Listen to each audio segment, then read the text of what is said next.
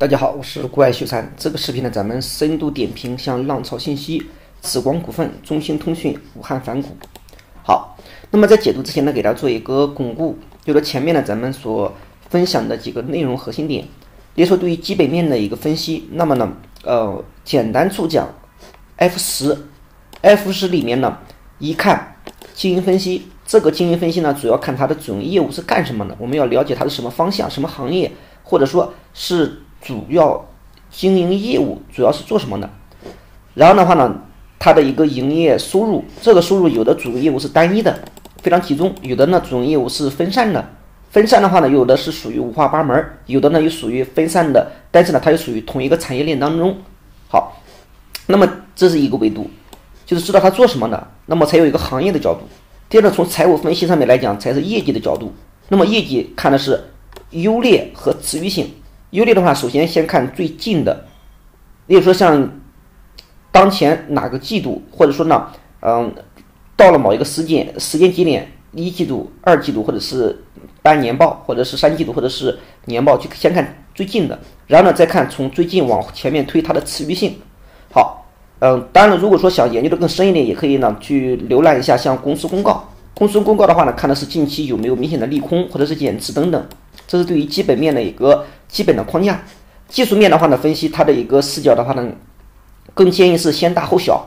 大的话呢，先是走势定位。这个走势定位的话呢，指的是，例如说从结构的角度来讲，当前是属于上涨结构的呃延续当中，上涨结构过程当中的回撤，还是属于上涨结构当中的延续当中？这是一个，还是说呢是属于下跌过程当中的呃延续，还是下跌过程当中的反抽，还属于下跌结构框架内？还是属于在整理结构，这是从结构的角度来讲。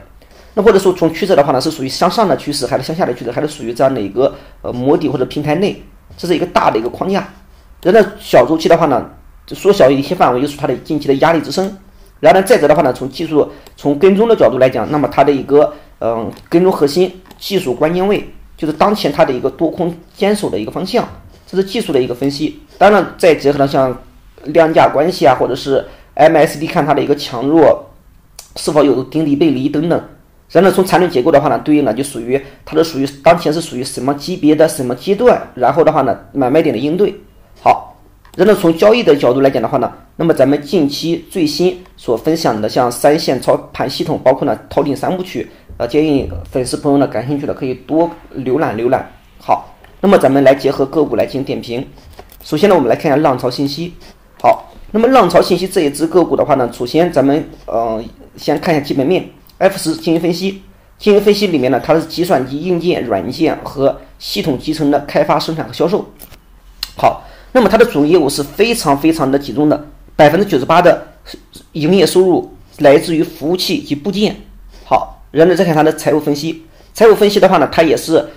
有基本面的一个支撑。这个基本面的话呢，例如说最近的是一季度，一季度的话呢，它的一个规模净利润是二点四个亿，同比增长的话呢，利润增长率是百分之七十九七十六。然后我们再来看过去呃两年或者过去一年，那么从二零一九年的六月份起，它的一个净利增长率从六九十二，二零二零年的三六九十二，它的一个净利增长率分别是百分之三十九、百分之三十九、百分之四十一、百分之四十七、百分之四十、百分之四十九、百分之二十二。也就是说呢，它是啊百分之四十八、百分之二十一、百分之五十七，它是有这样的一个呃业绩的提振。好，那么问题来了，既然有业绩的一个提振，为什么前面它跌的这么凶，或者跌的这么走的这么弱？我们前面给大家讲了，基本面对于股价的影响是中长期的一个视角，但是呢，市场当中还有一个词叫做风格的问题，就属于当前市场属于风格的什么风格？例如风格里面列说，嗯。哎，是重题材还是重权重？这是一种所谓的二八分化还是八二？这是一个视角。第二的话呢，哎，当前列出的像呃以这种嗯顺周期方向的，还是上偏重于科技方向的，还是偏向于就是在不同的节点当中，市场的资金主流进攻的方向不一样。那么列出在二零二零年的上半年主流的方向的话呢，其实就属于像以医医药、疫情相关的。再指的话呢，二零二零年全年像能源车，包括它像酿酒方向，它是属于市场的一个主导，持续性比较强。好，而科技方向的话呢，那么对应的是属于嗯持续的这样的一个调整当中。好，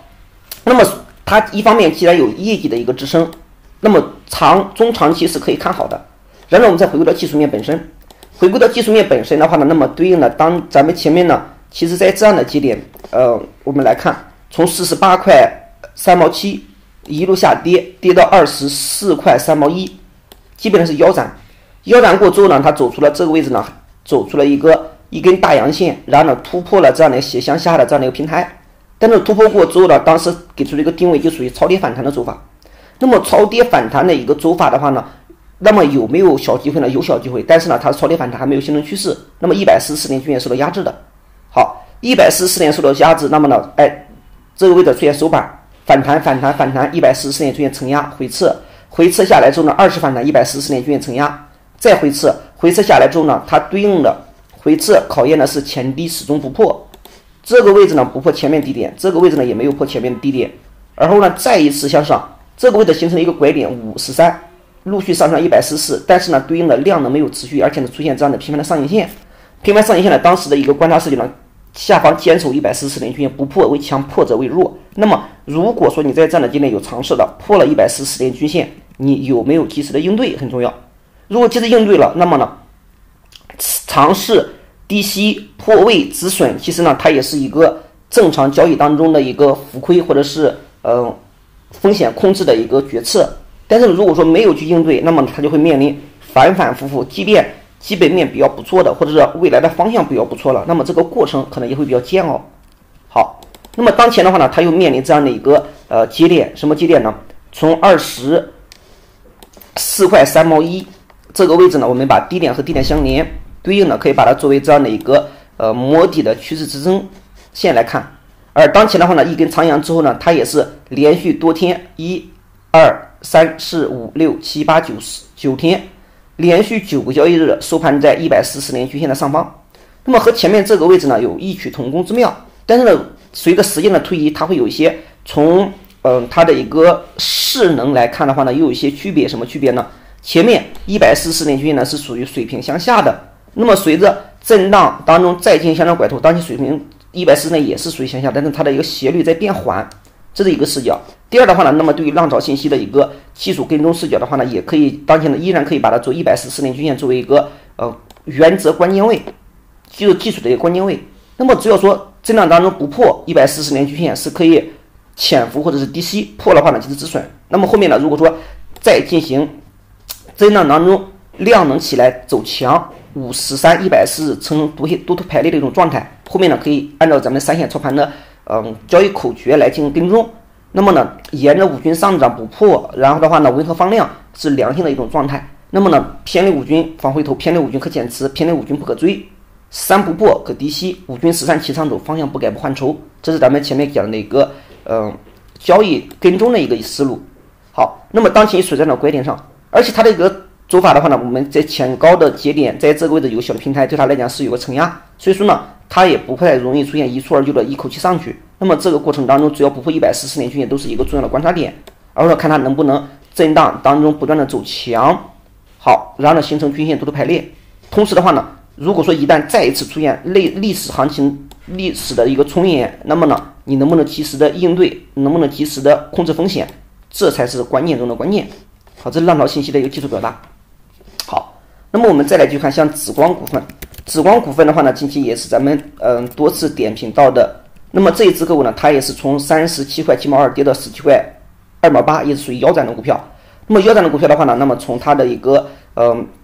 先看基本面，基本面的话呢，经营分析、准业务构成、数字化基础设施及服务、IT 产品分销和供应链。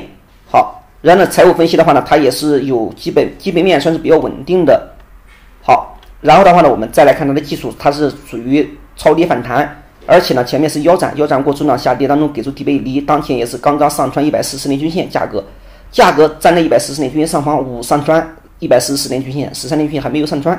那么上方呢，如果从技术表达来讲，上方我们要知道它前面的高点，好，这是颈线位的位置。好上方呢，像前高，它是有这样的承压。好，当前的话，在前面这个位置呢，它也是有小的一个呃技术的一个观察点。那么当前的量能是呃，近期是有量能的一个体现，M S D 三零轴，那么呢，主力成本呢也是即将上传，还没有上传。那么对于紫光股份的一个技术跟踪的话呢，更多的考察的一个节点的话呢，最好是连续冲高过之后呢，最好是等它有一个震荡或者回撤。那么我们可以把前面的一十七块二毛八的位置作为一个这个位置呢是可以作为一个五分钟的中枢，然后呢，向上离开段，当前呢离开段走的比较强，但是呢，如果说回撤一下。这个回撤的话呢，能够靠近一下一百十四天均线，好，或是这个位置走走一个震荡的走法，震荡的话呢，让十三天均线能够跟上，一百四十四天均线能够上穿，而后呢，量能不缩，不出现极致的缩量，不出现前面这样的一个极致的缩量，而后呢，再进走强，它才有可能走这样的一个合适的趋势。那么如果说当前的话，持续往上有防范的是冲高回落，好，这是对于紫光股份的一个态度。那么当前呢，如果说这有没有上涨有没有结束呢？目前为止。还是沿着五均上行，那么所有的强头上沿五均，五均不破可持有。那么以五均作为跟踪，用长轮视角的话呢，那么耐心观察什么时候出现顶分，一旦出现顶分的话呢，要防范，尤其是强顶分，强顶分后面呢不能新高，就是一个防范基点回撤。如果说回撤下来，对应的比较理想的一种状态的话呢，在这样的一个呃节点，好震一下，震一下之后的话呢，对应的好十三天均线上穿一百四十四年均线，而后的话呢。再进行走强，那么呢，它才有机会形成趋势。当前的话呢，也是前高位置也是有这样的一个承压，这是紫光股份的一个技术表达。好，那么跟踪视角的话呢，小周期先坚守五均，但是呢，随着连续的上涨，那么在上周五的时间是属于缩量阳带上影，那么短期来讲呢，它可能会面临小的一个调整。那么调整下来之后呢，坚守是一百四十年均线。如果说呢，用缠论结构角度来讲的话呢，那么可以期待，或者说可以呃等它形成第二，看它会不会给出第二个五分钟中枢。好，那么从十七块二毛八的位置，这个位置作为一个五分钟中枢来进行看待。如果说呢回撤下来，其实呢走一个一分钟的嗯下跌结构，不破五分钟中枢的上沿，对应的它是五分钟级别三百，五分钟级别三百给出过之后呢，看它会不会给出三百转。二脉还是转一脉，然后呢，股会不会构筑第二个部分的中枢，而后再向上离开段，这是它的一个一般的推演方式。好，这是紫光股份。那么再往下面去看呢，像中兴通讯，中兴通讯的一个技术表达的话呢，当前也是呃如此。那么这一只个股的话呢，其实它的嗯基本面来讲，尤其是一季度，一季度的话呢，它的归属母归母净利润呢是二十一点八亿，利润增长率呢净。净利润增长率是百分之一百七十九，它是有业绩提振的。只不过呢，前面有一个重大的一个关于解禁，就是在前段时间它是有这样的一个解禁的因素在，所以说呢，它制约股价的这样的一个持，对于股价来讲是一个呃非常强有力的一个制约。好，这是前面嗯对于股价的一个影响或者对于事件的一个嗯驱动。那么我们来看像中兴通讯这一支。个股的话呢，前面在这样的一个节点，好对应的，它也是属于超跌反弹，超跌反弹的话，一百四十年均线承压，超跌反弹一百四十年均线承压。而当时的话呢，记得有的朋友呢是属于，呃，明明知道或者的明明听到或看到了，但是可能还是存在一定的侥幸心理。然后的话呢，其实即便它最终能够上去，那么在这个过程当中，在这个过程当中也是非常的煎熬的。所以说呢，对于嗯。一个只个股或者一个方向，即便你看好它的未来，最好呢也要结合技术面的一个择时的因素，然后呢仓位的一个调配，让自己呢能够保持更加灵活。好，那么对于中兴通讯当前的一个嗯跟踪视角是什么呢？它从五十六块五的位置下跌到二十七块呃六毛八，其实呢也是属于腰斩的走法，而且近期的话呢下跌当中也呈现了这样的底背离。当前的话呢价格也是刚刚站上了呃一百四十年均线，但是呢均线的位置呢还没有实现上穿。所以，对于中兴通讯呢这样的个股的一个技术表达的话呢，个人的观察节点是属于当前依然是把它作为这样的一个超跌反弹来进行看待，还没有形真正形成趋势。只不过呢，它的一个缠论表达的话呢，在前面呢是属于急促的上涨，是属于一种消耗的一种走法，就是属于消耗量能。尤其是距离上方压力，然后呢经过一个急促的一个冲高逼近压力，那么呢量能是对能多方能量是一种巨大的消耗，后面的话呢，嗯，很容易出现回撤。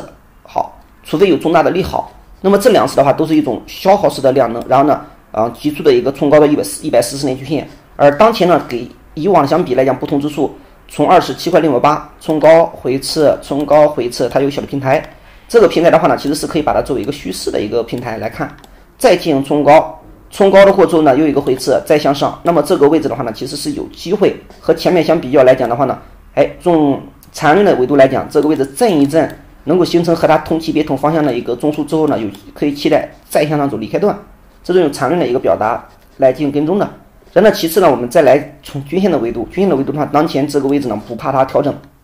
也不怕它下跌，但是呢，下跌的幅度很重要。如果说在这个位置呢，它的一个调整幅度，只要说呢，嗯，最终还能够保持在一百四十年均线上方的运行，好，对应的话呢，它又能够保持这样的一个，嗯，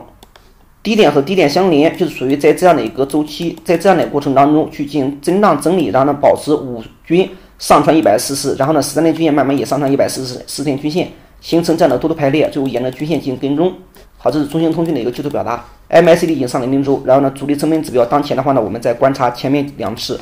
好，前面两次的话呢，价格在这个节点受到主力成本值的压制，在这个节点受到主力成本的压制，在当前这个位置呢，也是主力成本的压制。但是呢，它接下来只要说呢，价格呃震荡，最它当前这个位置呢，最好是嗯。轻度回撤，然后的话呢，有一个震荡的一个走法，震荡过之后的话呢，对应的它能够保持让均线的一个上穿，形成拐点，然后的话呢，价它价格就能稳在主力成本线的上方，主力成本线的位置是三十二块三毛三，好，那么一百四十年均呢是三十一块九毛四，这些都是一个重要的观察点，这是中兴通讯，所以说呢，当前还是处于。一百四十年均线压制的一个范畴，在突破的一个临界点，但是呢，它没有，嗯，如果说有回撤呢，可以去尝试去潜伏，但是呢，尝试潜伏的同时，一定要提前设好止损位，而且咱们在五月二十七号的时间呢，其实就有过一次重点的这样的一个呃点评和跟踪，但是当时点评的跟踪的视角呢，其实是从缠论的角度来讲，当时。它是属于五分钟中枢，然后呢，期待向的离开段的。现在离开段已经兑现，那么兑现过之后呢，它是还来考察第二个五分钟中枢组件。